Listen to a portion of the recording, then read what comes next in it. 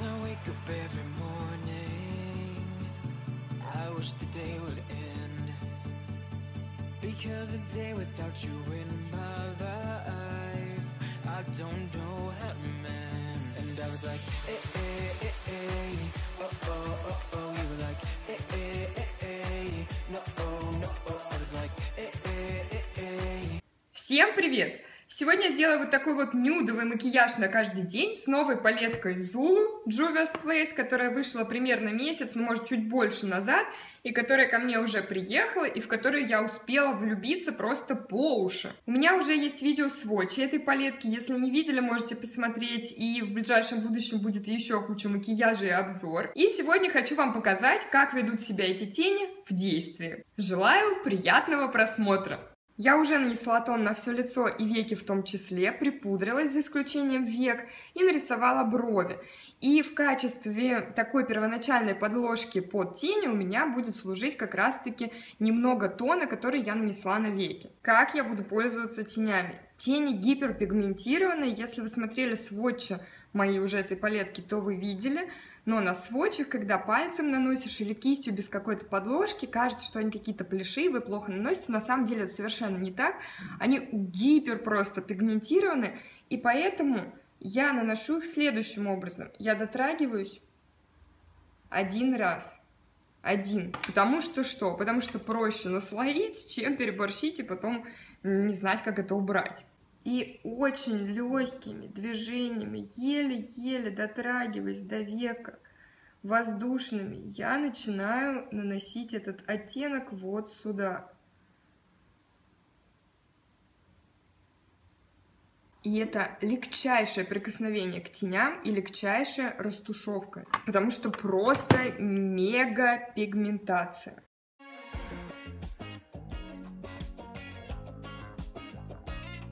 Как видите, если вот так вот не тыкать кистью в тени, как это любят американские блогеры делать, в Анастасию, в другие, во всякие палетки, вот так вот тычут и говорят, что качество плохое, что они такие мягкие, может, вы пользоваться не умеете – вот если легонечко дотронуться, даже ничего никуда и не подосыпается. Пока оставлю так, все равно потом буду растушевывать еще другим оттенком. И сейчас я займусь нижним веком, чтобы выстроить форму, по которой буду ориентироваться, делая верхнее веко. Здесь опять этот же оттеночек.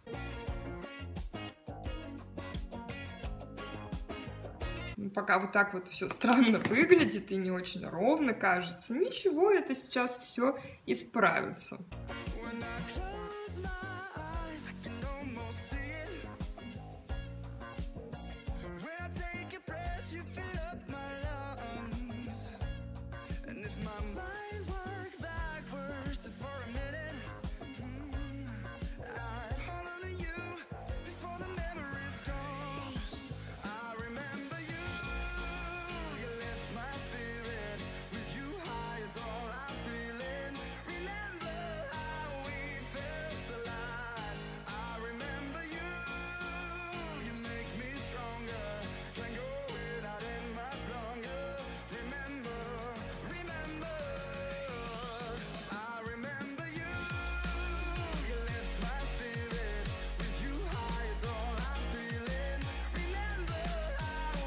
Можно плоской кистью, можно пальцем, как хотите. Хочу, чтобы вот этот цвет лег плотно, поэтому попробую нанести его пальцем.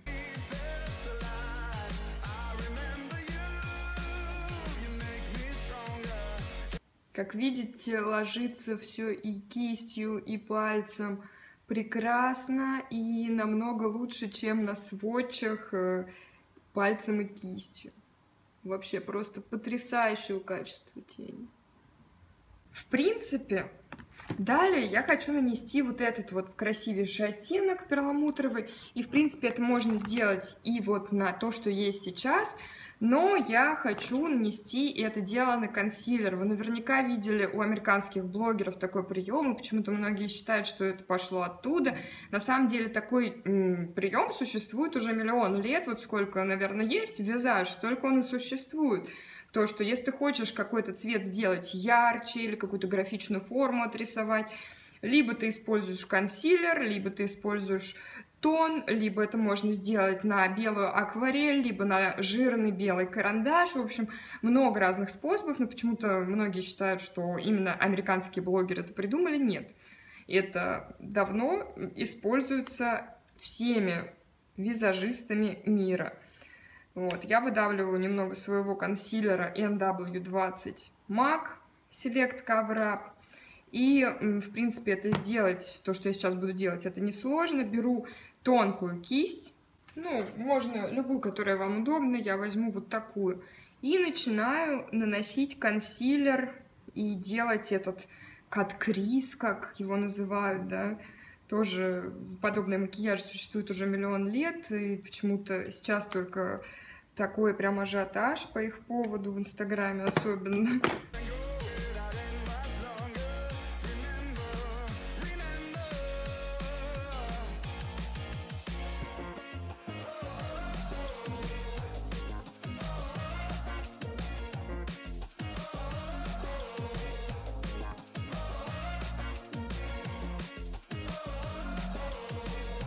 Немного пальчиком его как бы вбиваю, чтобы не было слишком жирно, чтобы он не скатывался.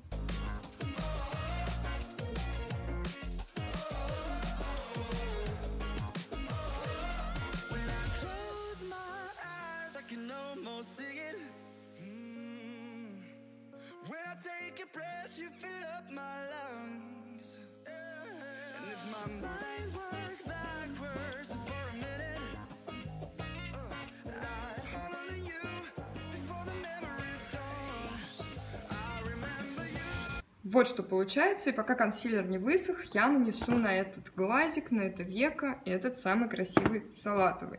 Можно, опять же, это сделать пальцем, потому что потрясающе переносится металлики пальцем. Можно сделать кистью, кистью тоже отлично переносится.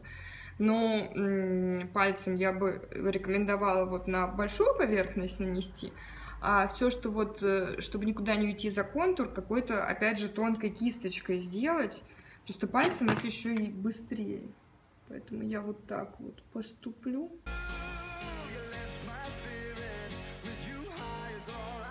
Немного зайду на фиолетовые тени, чтобы плавный переход получился. И уже выберу какую-то кисть, ну такую, например. Буду аккуратно ею наносить.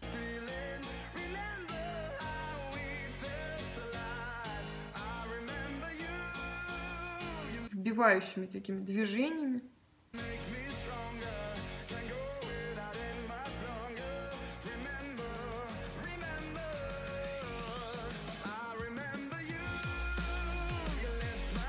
Ну, здесь можно варьировать, как вы хотите. Хотите полностью каткриз этот нарисуйте, хотите наполовину, вообще, насколько хватит вашей фантазии.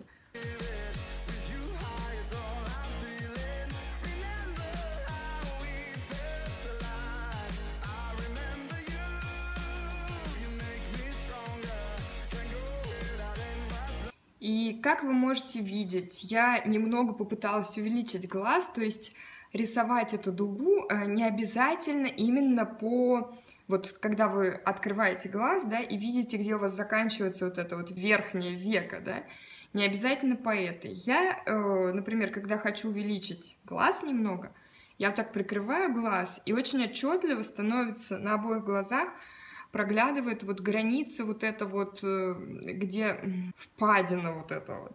И по этой впадинке я и рисую. То есть, как вы можете наблюдать, при открытом глазе это не величина моего верхнего века, а немного больше. И таким образом глаз немного увеличивается. Я не знаю, понятно ли я сейчас объясняю или нет, но, по крайней мере, я пытаюсь эм, сказать то, что я думаю. То есть я вышла как бы за границу своего верхнего века. И у меня, как у большинства людей, возможно, там кто-то скажет, что нет, это незаметно, но у меня одно веко больше, чем другое. И вот это вот веко, оно меньше, чем правое. И с помощью даже вот такого графичного макияжа можно немного их э, как бы, ну, сравнять, сделать их похожими друг на друга примерно с виду, чтобы они выглядели одинаково. То есть можно их сделать одинаковыми не только с помощью каких-то смоки айс, где нет четкой границы, но и с помощью макияжа, где есть четкая граница. Вот при, присмотритесь. Разные веки на самом деле. Но в моем случае, честно говоря, это на самом деле не критично, потому что я встречала людей, у которых очень сильная симметрия, очень, прям маленькое такое одно веко, а второе прям большое. Вот в таких случаях, конечно, тяжелее выровнять и ну, сделать визуально одинаковыми глаза. Ну, теперь второй глазик. Хочу немножко еще фиолетовым подкорректировать вот здесь.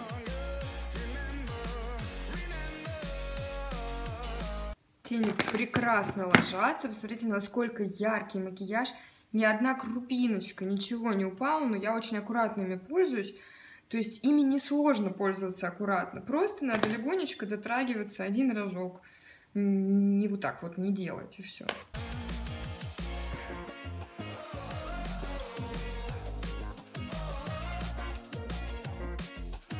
Теперь нужно просто доделать нюансы.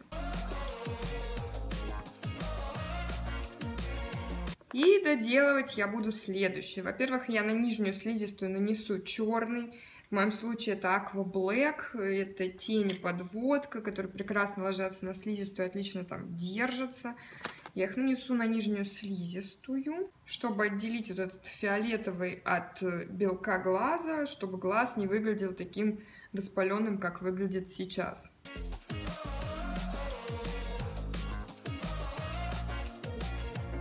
Оттушую немножко к нижнему веку.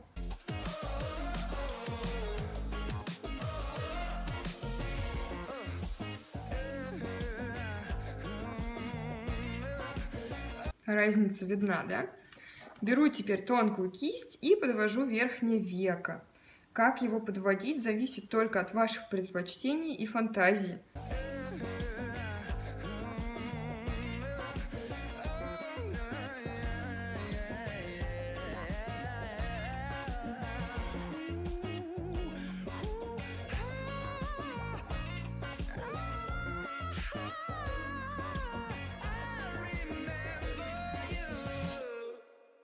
Верхнюю слизистую, пожалуй, тоже подведу, чтобы никаких там пробелов не было.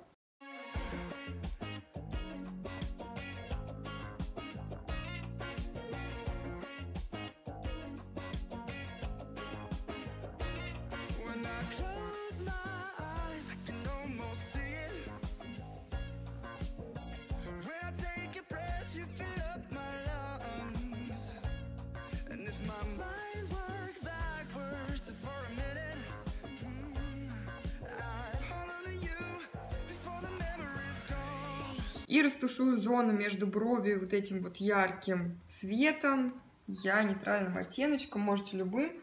Я растушую вот этим из палетки Nature Love Too Faced.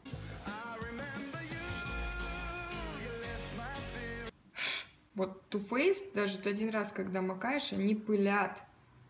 Если Juvia's Place э, ну, специально не тыкать туда, ну, в палетку, то вообще не пылят.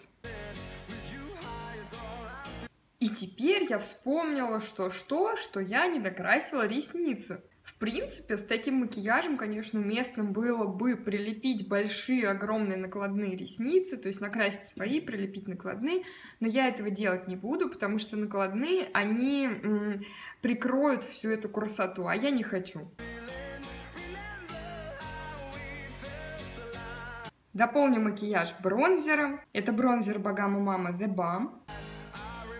Румянами. Румяна PR92 Makeup Atelier. Я так достаточно интенсивных наношу, потому что очень яркие глаза. Хайлайтер из палетки Carly Bible Beach Cosmetics.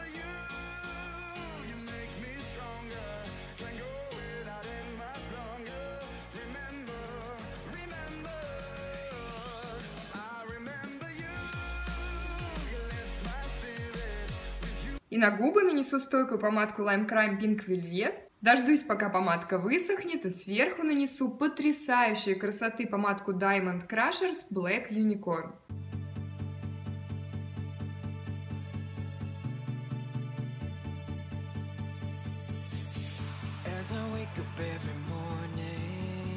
Ну и вот такой вот нюдовый макияж на каждый день у меня получился с палеткой Зулу. Я влюбилась в эту палетку и в палетку Маскарад, и я буду снимать еще несколько хотя бы макияжей с этой палеткой, с палеткой Зулу, затем макияж с палеткой Маскарад, потому что эти палетки достойны огромного количества макияжей, и я буду снимать отдельное видео на каждый. Я не хочу снимать несколько макияжей в одном видео, и это затруднительно и тяжело и для меня, и для вас смотреть это все и повторять. По мне, так э, проще посмотреть какое-то одно видео, потом еще одно, выбрать, что тебе нравится, сидеть, например, и повторять по этому видео, ну или как вам удобно. Но несколько, особенно каких-то таких прям ярких макияжей, по мне это неудобно в одном видео. Напишите, пожалуйста, с какими оттенками этой палетки вы бы хотели увидеть макияжи.